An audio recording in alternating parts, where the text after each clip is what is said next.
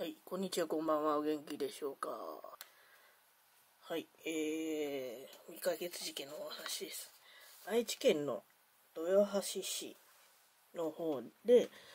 えー、殺人死体遺棄の事件があったと。で、それが、まあ、2012、えー、2003年の12月の話です。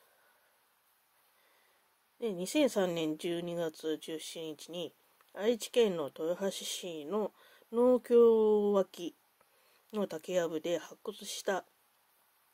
えー、男性の、えー、遺体が発見された。男性は、この、浜松市、静岡県の浜松市のある、えー、海産物販物販販売店。物販っていうか、海産物販売経営の方、当時に、えー、75歳と判明した。言いてなかったね、今ね。で、司法解剖の結果、ご遺体っていうのは死後、えー、4ヶ月から8ヶ月が経過していて、死因は、えー、特定できなかったと。でね、えー、発見当時、この方は衣類を身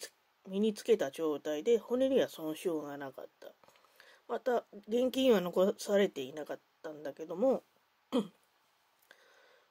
えー、この亡くなられた方は、同年2003年5月11日の午後に、えー、家族に遊びに行くわ、つっ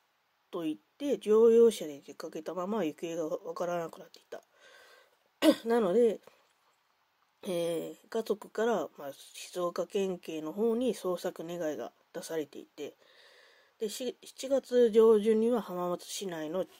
えー、公園駐車場にその方の車が放置されているのが見つかって、えー、車内にはこの方の血痕が残されていた。その後の調べで、この失踪当日の5月の11日の午後9時頃、この方とみられる男性が継ぎ目駐車場で男ともみ合いになっていて、えー、馬乗りになって、えー、首で絞められた後、車に押し込められて連れ去られるのを近所の住人が目撃して、警察に通報していた事件が起きていたことが判明していて、で、警官が駆けつけた時には男とか車は亡くなっていたっていうことなんだよね。この時目撃された男は35から50代ぐらいで、えー、身長165センチから170センチのガッチ体型で単発だったという。えー、なんか土建屋さんとかで結構がたいのいい人っていると思うんだけど、多分そういう感じなのかなと思う。で、この方がね、亡くなられた方は、えー、当日、失踪当日、浜松市内のパチンコ店を、えー、午後8時半頃出たのが分かっている。これらの状況から、えー、この方は、パチンコ店を出た後、何らかのトラブルに巻き込まれて、殺害されたものとみられている。このね、ご遺体が見つかった駐車場っていうのは、パチンコ店からこの亡くなられた方の自宅までの途中にあるという話です。この 継ぎ決め駐車場っていうのは、どうなんだろう。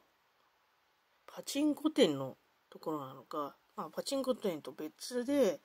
継ぎ決めの駐車場を契約していたまあ、契約してなくても、ちょっと、こっち来いっつって止められたところなのかわかんないんだけど、そこで まあ、パチンコ店から出た後だと思われるので、まあ、パチンコで何らかのいざこざがあったのかなとは思う。うん。あの、大のね、これ、わかんないんだけど、パチンコのめり込むほどやったことはないんだけど、やっぱいい台悪い台とかって、やっぱいい台をこう、ね、パチンコを内合としてる方なんかは、見極めることがね、できたりとかしてて、で、取った取られたの話になっちゃったのかなと思う。一度ね、そこの、性の中では、あの、まあまあまあって、店員さんがいるんで、周りにも人がいるんで、まあまあまあっていう風になったんだけど、だけど、まあ、店を出たりとかすると、まあ、止める人がいなかったりとかするから、どういうこっちゃって言って、こういうね、はい、えー、ちょっと話が入ってたんで、まあ大丈夫かと思いますけど、えー、どこまで話した あの、あ、そうそう、それで、やっぱ、ね、外に出たら、店員さんはいないので、えー、いろいろとね、はい。それで、なんだっけ、あの、いろいろとね、なんかあったんでしょう。うん。取った取らないとか、えー、そこが先に俺が見つけてたんだ、狙ってたんだって、今そういう話をしてたんだろうけど、うん。っていう話なのかなとか勝手に思っちゃうんだよね。うん。と思いますけど、皆さんどう思いでしょうか？はい、以上です。